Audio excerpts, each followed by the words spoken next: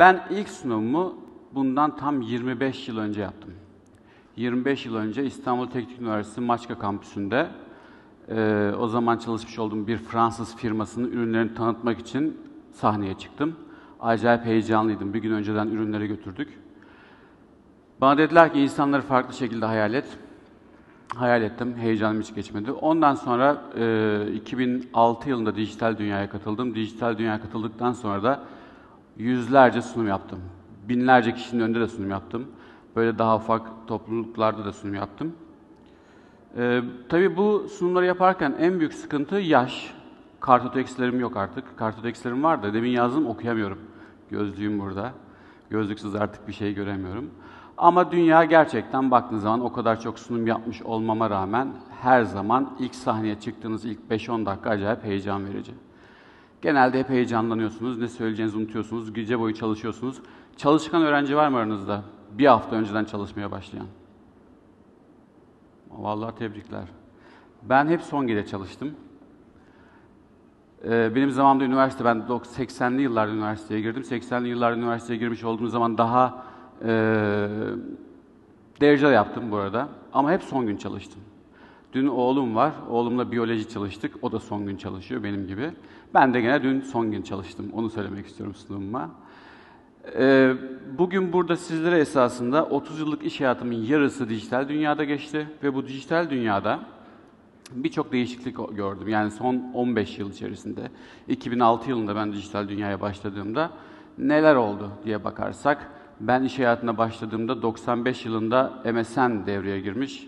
Daha sonra uzun yıllar çalışmış olduğum Google devreye girmiş. 2000'li yıllarda biliyorsunuz dot-com krizleri var. Dot-com şirketleri patladı. İlk AdWords 2000 yılında gelmiş. 2005 yılında ölçümleme gelmiş. Ben 2006 yılında o zamanki performans pazarlaması yapmaya çalışan şirkete girdiğimde her iki tane firma var. Bir tanesi e, banner reklamcılığı yapan bir Türk firması var. Bir de o zamanki herkesin kullandığı MSN. MSN'i kullananlar var mı aranızda? Değil mi? MSN reklamları var. Biz de aldık 10 kişilik bir ekibiz Türkiye'de. Elimize çantamızı, bilgisayarımızı kapı kapı dolaşıyoruz. Diyoruz ki performans pazarlaması diye bir şey var. Kimseyi ikna edemiyoruz. Biraz evvel e, Yüce'nin eski çalışmış olduğu şirket, o zamanki genel müdürü yakında arkadaşımdır hala. Ona ben 7 ay gittim. Lütfen arama motoru reklamcılığına para harcayın diye. Baktık harcamıyorlar. Biz dedik ki stratejimizi değiştirelim ilk 6-7 ay sonunda. Biz dedik şey yapalım, herkese Google Analytics kuralım. İşi gücü bıraktık, Google Analytics kurmaya başladık. Çünkü gittiğimiz her firma, bugünkü o firmaların hiçbiri artık hayatta değil. İnternette o zamanlar birçok e-ticaret firması var.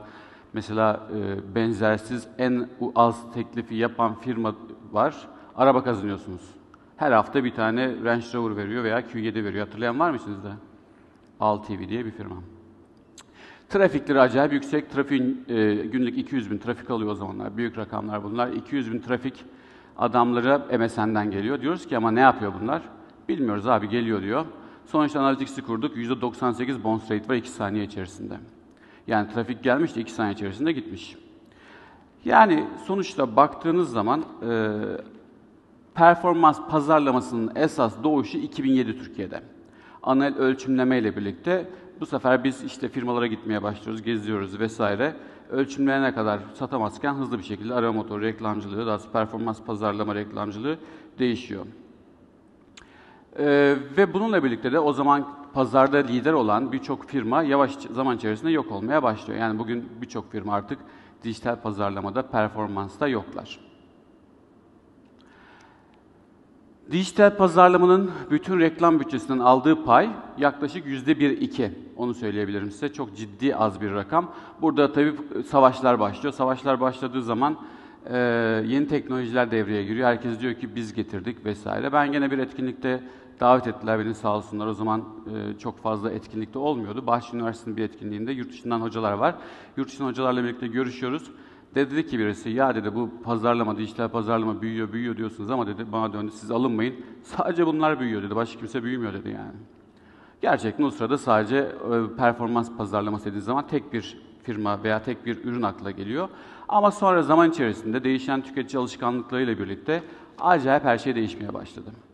İşin içerisine ilk klik, son klik, e, sayfada geçirilen süre, videomu gördün, web siteme geldin gibi birçok metrik gelmeye başladı. E, ve pazarlamacıların da dikkatleri dağılmaya başladı. Pazarlamacı olan var mı aramızda pazarlama departmanlarında çalışan? Evet. Sonra attribution modelleri çıktı. İsmi çok havalı. Ben hala bilmiyorum ne olduğunu. Attribution modelleriyle birlikte gerçekten performans kim yazacak vesaire tartışmaları başladı. Çünkü herkes geliyor, sizin önünüzde oturuyor diyor ki benden yaptım bu satışı. Neden? Bilmem ne video sitesinde bir banner'ım vardı, orada gördüler. Öbürü geliyor diyor ki ben esasında scroll down yaparken 2 saniyede geçti burayı. O zaman benden bu performans. Herkes performansı kendisine yazmaya başladı ama birazcık da haklılar belki. Çünkü insanlar e, artık eskisi gibi değiller. Yani bir satın alma yapma öncesinde yaklaşık 56 noktaya ulaşıyorlar. Ben e, çocukluğumda annem e, ufak boylu bir kadındı. 1.60'ın altında bir boyu vardı. Şunu hatırlıyorum sadece, elini böyle tuttuğumu hatırlıyorum. Demek ki o kadar ufağım. Ve peşinden koşturuyorum, bir manifaturacıya gidiyoruz. Manifaturacıda Eskişehirliyim ben. Eskişehirli olan var mı? İşte yiğidin harman olduğu yer, öyle diyorum. Herkes gülüyor, yanımızdaki gibi. Ama öyledir, Eskişehir'de iyi insanlardır yani. Manifaturacıya gidiyoruz. Manifaturacı iki tane var Eskişehir'de Köprübaşı'nın girişinde sağ tarafta iki tane yan yana dükkan var. Annem kumaşa bakıyor. Adam diyor ki bir dakika bir dakika elleme kumaşları. Bir amca var dokunamıyorsunuz çünkü o zaman üretici az, ürün az, seçiminiz az. Ee, seçtiğiniz veya alıp yapabileceğiniz yer sayısı az. Tüketici çok güçlü değil. O yüzden de 56 noktaya dokunmuyorsunuz. Sadece 2-3 tane dükkan var. Gidiyorsunuz ve alım yapıyorsunuz. Orada dokunmanız yasak. Şimdi e, ben neden 56 nokta? Onu birazcık düşünmeye başladım. Benim bab- dedem askerdi. Emekli olduğunda tabii Cumhuriyet'in işte öksüz ve yetimleri alıp asker yapmışlar. İşte harp okullarında vesaire okumuş. Emekli olduğunda sohbet ederken 1920'lerdeki öğretmenlerin isimlerini hatırlardı. Ben sadece ilkokul öğretmenimi hatırlıyorum. E, e, kulakları çınlasın Fahri öğretmen. Onun haricinde bir ortaokulda matematik öğretmenim var. Hüseyin Uçak olduğunu iddia edebilirim. Üniversiteden kimseyi hatırlamıyorum. Bunun sebebi ne diye düşündüm. Esasında bununla ilgili de bir sunum, yıllar önce yapmış olduğum bir sunumda, sunumda gördüm. 1800'lü yılların sonunda bir adamın hayatı boyunca veya bir insanın hayatı boyunca maruz kaldığı bilgiye biz, günümüz insanı, ne kadar sürede maruz kalıyoruz? Bir gün. Yani dedemin hatırlamaması mümkün mü ya? Adam zaten bilgi almamış hayatı boyunca. Yani ben bir gün içerisinde zaten ondan daha fazla bilgiye ulaşmışım ve bir şekilde e, etkileşimde bulunmuşum. Dediğim gibi eskiden dijital dünya öncesinde e, dikkati çekme her şey demekti. Sadece dikkati çekiyorduk, başka da bir şey yapmıyorduk. Peki mesela şey biliyor musunuz? E, reklam mecralarının seçiminde ana aktör kimdi eskiden? Televizyonlardaki reklamların. Genel müdürün karısı. Biliyor musunuz bunu? Bu gerçek. Genel müdürün karısının seyretmiş olduğu diziye siz reklam vermezseniz pazarlamacıların ertesi gün hali yaman yani gerçekten. Çünkü akrabaları eş dost arıyor. Siz ne biçim şirketsiniz diyor. Koskoca mobil operatörsünüz.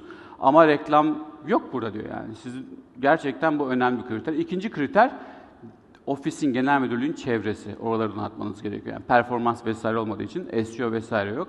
Ama bugün baktığımız zaman dikkati çekme ayrı bir alan, değerlendirme ayrı bir alan, satın alma, daha sonra hizmet ve sadakat.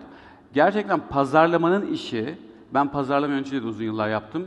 Bundan 15-20 yıl öncekine göre çok kompleks. Eve gittiğiniz zaman hangisiydi, doğru mu yaptım, yanlış mı yaptım derdiniz var. Eskiden en büyük derdiniz, acaba genel müdürün karısı bu diziyi seyrediyor mu? Eskiden en büyük dert bu. Şimdi gittikçe daha kompleks bir hale gelmiş durumda her şey. Biz 20 yıllık bir şirketiz. Öncelikle onu söyleyeyim. Yani Türkiye'nin en eski bu konudaki teknoloji şirketiyiz. Ee, çok ciddi sayıda e, müşterimiz var. 4000 üzerinde firmaya destek veriyoruz. Türkiye'de ve yurt dışında. Türkiye'de aklınıza gelen bütün büyük perakende firmalarına destek veriyoruz zaten. Yapmış olduğumuz iş oldukça zor bir iş. Eskiden biz bu yola çıkarken, ben 2017'de bu şirkete katıldım. Dedim ki bu geçmişteki kaotik ortamda gerçekten bu attribution modellerinin kurulmasına sebep olan ortamda kim getirdi bu performansını çözmek için her şey bir platformdan yürütülebilecek bir mevcut müşteriye daha fazla ürün satma nasıl olabilir diye düşündük ve kendi platformumuzda bütün ürünlerimizi birleştirmeye başladık. Ee, geçtiğimiz yıl yapı- yapılan bir araştırma var. All-in-one marketing automation diyorlar. Pazarlamacıların %70 artık demiş ki birden fazla e, supplier'la, üreticiyle çalışmak istemiyoruz. Tek bir üreticiyle çalışalım. Çünkü gene aynı şey var. Ben getirdim, ben getirdim, ben getirdim, ben getirdim. Herkes de performansı ben getirdim. Öyle bir söylem var. Belki haklılar, belki değiller. Çünkü ben Google'da çalışırken de gerçekten affiliate marketingçiler biz getirdik diyordu. Biz içeride oturup konuşurken, burada Google'ın arkadaş var mı bilmiyorum ama biz içeride oturup konuşurken diyorduk ki acaba gerçekten getirmiş olabilirler mi? Biz çok yoğun bir şekilde AdWords'un çalışıp çalışmadığını iki yıl boyunca stres halinde bekledik yani. Gerçekten ya çalışmıyorsa, iyi hatırlarsın. Ulan herkese sattık ama ya gerçekten getirmiyorsa. Bir gün şeyde öğrendik, e, gene büyük bir e-ticaret platformu, en büyüklerden birisi. Her genel müdür değişikliğinde beni çağırıyorlar. Diyorlar ki en büyük bütçeyi size veriyoruz, kapattık. İndirim yapın. Önce indirim istiyorlar, iyi bilirsin. İndirim vermeyince de diyorlar ki kapattık. Ee, gene bir gün beni çağırdılar. İlk çağırdıklarında kapattık dediler. Dedim ki yandık. Ya dedik bu sistem çalışmıyorsa. Biz hava attık, herkese gezdik. İşte patronların bir garajdaki resmiyle her şeyi anlattık falan. Genel müdür Amerika'ya gitti ertesi sabah. Öğlen beni aradı. Rica ediyorum açar mısınız bütün kampanyaları ama bütün şirket stres halinde bekliyoruz. Çalışıyor mu, çalışmıyor mu diye. Ee, çünkü gerçekten ciroları düşmüş, çalıştığını gördük. Biz ne yapıyoruz? Müşteriye dokunan her yerden datayı topluyoruz, tekilleştiriyoruz ama müşteriye dokunan her yerden dediğiniz zaman gerçekten her yerden ve eventleri sayıyoruz. Yani sadece son yapılan işleme de bakmıyoruz. 3 yıl boyunca o kişi web sitenizde ne yapmış onları topluyoruz. Mikro segmentlere ayırıyoruz. Çok zor bir işti bu iş gerçekten. O yüzden de zaman zaman e, ilk kuruluşunda sıkıntılar yaşayabiliyoruz. Çok yerden data topluyoruz. Mobilden alıyoruz, call center'dan alıyoruz, beacon'lardan alıyoruz, Wi-Fi'den alıyoruz ve her şeyi o müşteri kartlarına işliyoruz. Daha sonra da bu insanların üzerinde bir ürün öneri motorumuz var. Birçok kere test ettiğimiz ve genelde hep AB testinde lider çıkan bir motor. 32 algoritması var, onu çalıştırıyoruz. Üzerinde bir otomasyonumuz var. Üzerinde de kanallarımız var. E-mail, SMS, web push, mobil push ve web sitesinin kişiselleştirilmesi. Benim kısa bir videom var. Ee, çalabilirsek eğer.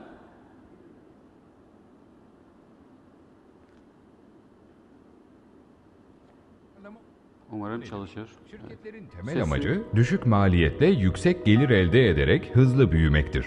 Bunu yapabilmek alışılagelmiş ya da tek düze pazarlama tekniklerinden ziyade günümüz pazarlama teknolojilerini kullanmakla mümkün.